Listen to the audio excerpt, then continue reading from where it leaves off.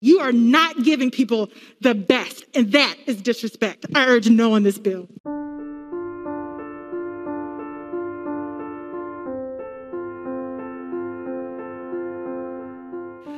I want to read from a press release on April 27th. And it said Ohio's three branches of government are to be separate but equal. Our members feel disrespected that their opinions have largely been disregarded by the administration.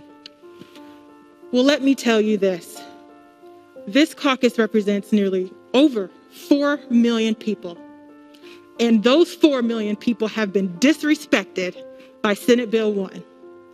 The people of this caucus overwhelmingly represent those impacted by the coronavirus and who will die. And that includes people who are Black, who are disproportionately impacted, hospitalized, and dying from the coronavirus. It is disrespectful.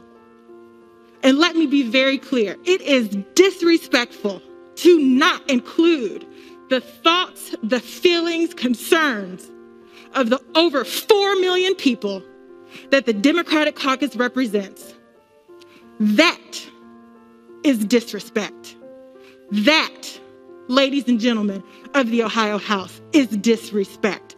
And the lives and the stories and the contributions that they bring to this state. These lives matter. I want you to truly believe that these lives matter and that you will also stand up for these lives and make sure that the best people are making decisions about their lives. There are good people in this room, but you are not the best.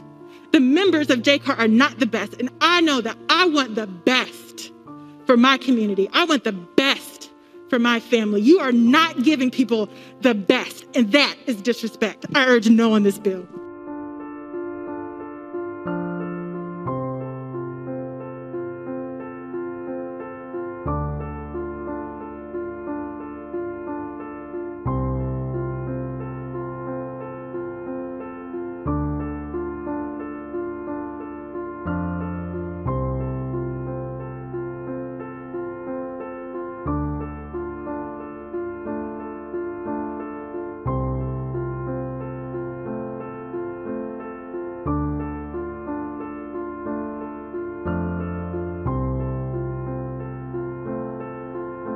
You are not giving people the best, and that is disrespect. I urge no on this bill.